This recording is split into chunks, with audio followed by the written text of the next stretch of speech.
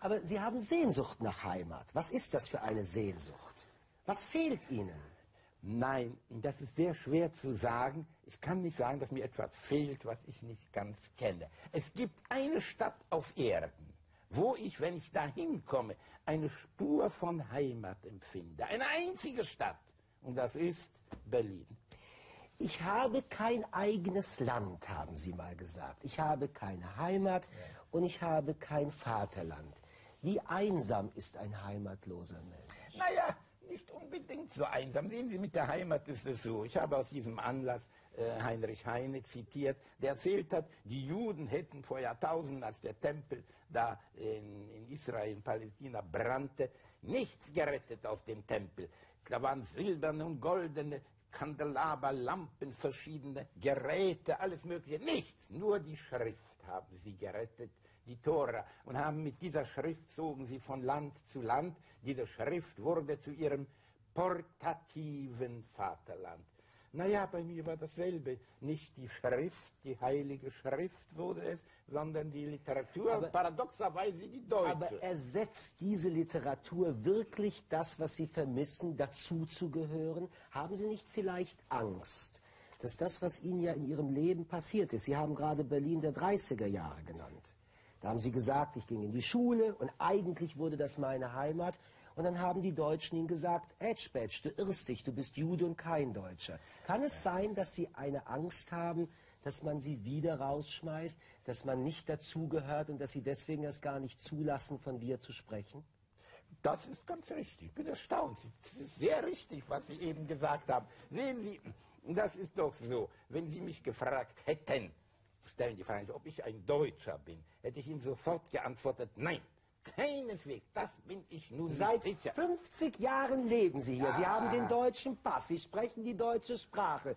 Die Menschen mögen Sie und die, die Sie nicht mögen, beachten Sie. Und Sie sagen, Sie sind kein Deutscher? Nein, Wie? Ich verwende, Wieso das? Auf, ich verwende das Wort Deutsch bezüglich meiner Person oft und gern, aber immer als Adjektiv. Ich bin ein deutscher Kritiker, deutscher Literaturkritiker, vielleicht ein deutscher Schriftsteller. Ein Deutscher bin ich nicht. Das wird nichts mehr daraus werden. Warum nicht? Vielleicht Warum nicht? ist es der Widerstand dagegen, dass man mir, dass Leute kommen und mir das mein Deutschtum aberkennen. Das können sie nicht. Die können höchstens kommen und sagen, dass ich von Kleist oder von Thomas Mann zu wenig verstehe. Das ist aber was ganz Herr anderes. Reich-Ranitzky, sind Sie noch verwundbar an dieser Stelle? Aber ja. Tut es Ihnen weh, wenn man Ihnen deutlich macht, Sie gehören nicht dazu? Nein, manches tut mir sehr weh. Natürlich bin ich verwundbar, aber nicht das Dazugehören. Nein, nein, nein. Ihr das Sohn, nicht. Ihr Sohn lebt in England. Sind Sie froh, dass er nicht in Deutschland lebt? Nein, ich bin gar nicht glücklich. Er lebt in Schottland, würde er sagen, nicht in England. Er ist Professor der Mathematik in Edinburgh. Ich bin gar nicht glücklich, dass er so weit ist. Es wäre mir lieber, er wäre Professor in Mainz. Wir könnten uns häufiger sehen oder in Bonn. Aber nun hat sich sein Leben so ergeben. Er hat eine Amerikanerin geheiratet und seine Tochter, das Kindchen ist schon 21 Jahre alt, seine Tochter ist, äh, studiert nicht Germanistik, sondern Anglistik. Ignaz Bubis, der ehemalige Präsident des Zentralrats der Juden in Deutschland, hat Deutschland überrascht kurz vor seinem Tod, indem er gesagt hat, ich möchte nicht in Deutschland begraben werden. Und Sie?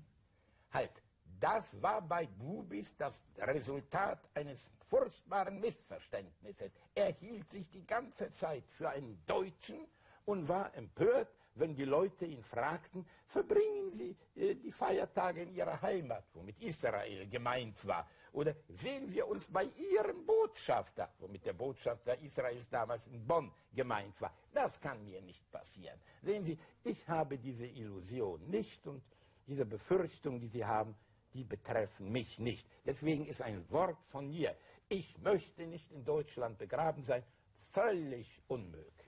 Also, wenn man Ihnen zuhört und Sie das eben von Ignaz Bubis beschreiben, äh, nehmen Sie zur Kenntnis, dass viele auch sagen, er ist kein Deutscher, er ist Jude und dass das eine Beschimpfung ist? Nein, als Beschimpfung empfinde ich das überhaupt nicht. Natürlich nehme ich das zur Kenntnis, aber ich empfinde es nicht als Beschimpfung. Das stört mich gar nicht. Steht ja in allen, meine ganze Autobiografie, die beginnt ja gleich in den die ersten Sätze sind, was sind Sie denn eigentlich? Ein, die, mir, die Frage, die mir gestellt wurde, ein Deutscher, ein Pole oder ein Jude, was sind Sie denn?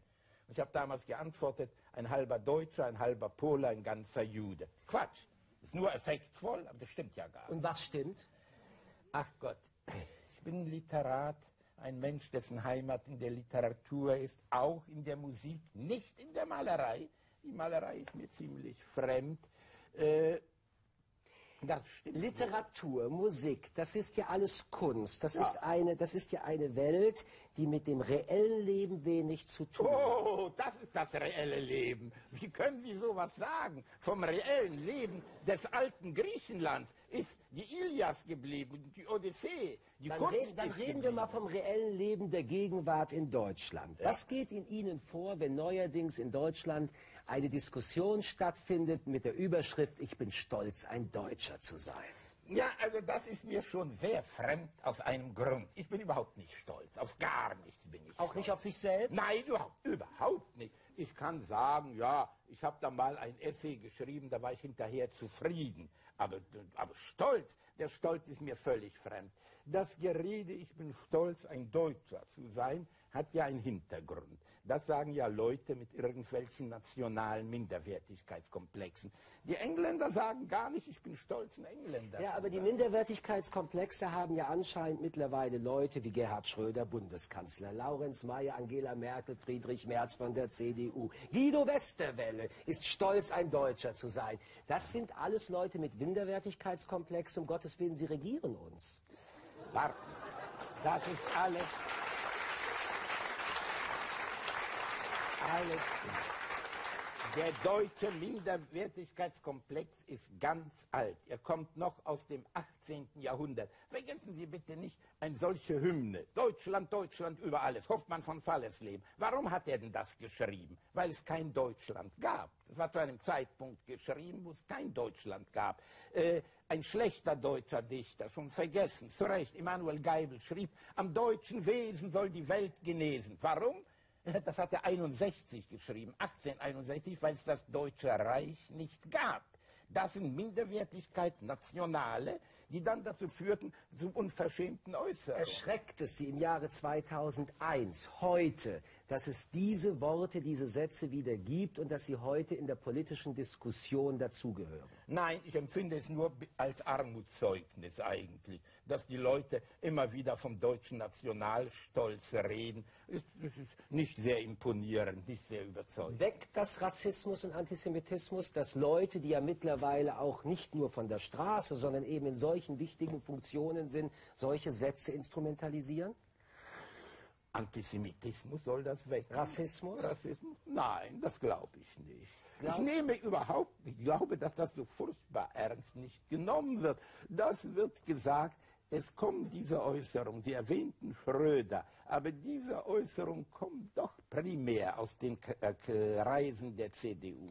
Dann sprechen wir mal einen Augenblick noch über diese CDU. Da gibt es ja einen Generalsekretär und da gibt es eine Vorsitzende und vor allen Dingen einen Fraktionsvorsitzenden. Die haben ja eine Generalprobe gemacht, als sie von der deutschen Leitkultur gesprochen haben. Hat Sie das erschreckt? Nein, da hat mich nur verblüfft, warum, dass die Leute so dumm sind und des Deutschen nicht mächtig sind. Was heißt denn Leitkultur? Eine Kultur, die jemanden leiten soll? Wen? Europa leiten soll? Oder Deutschland oder Bayern leiten? Oder was hat, was hat das für einen Sinn? Die Leute gebrauchen ein Wort, einer hat das Wort gebraucht und die anderen haben es nachgeplappert. Ich verstehe nicht, was damit gemeint ist. Aber verstehen wir einen Augenblick, wenn wir darüber nachdenken, es gibt die deutsche Leitkultur, es gibt die Debatte über Ich bin stolz, ein Deutscher zu sein. Es gibt anscheinend eine Renaissance dieses Bedürfnisses, hier so ein bisschen Nationalstolz zurückzuführen. Das sind führende Leute, Repräsentanten, Vorbilder. Sind das nicht Entwicklungen, die Sie vor 10 oder 15 Jahren nie für möglich gehalten nein, haben? Nein, nein.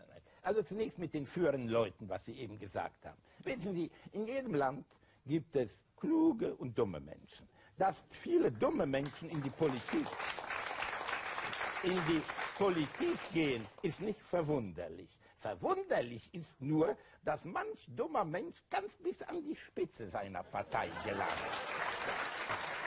Das hat mich immer sehr, sehr verwundert. Sind Sie der Meinung, dass in den letzten Jahren Antisemitismus, Nationalismus, Chauvinismus wieder salonfähig geworden